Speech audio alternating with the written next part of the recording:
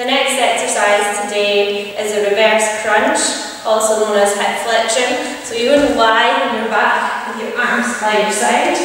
You're going to have your feet just up off the floor and then we're going to drive our hips up and straighten our legs towards the ceiling. So we're going to drive up and then control as it comes back down. And we're not letting our feet actually touch the floor. Or if you want the modified version of this, start, same start position, but we're not straightening our legs, so we're just bringing our knees to chest.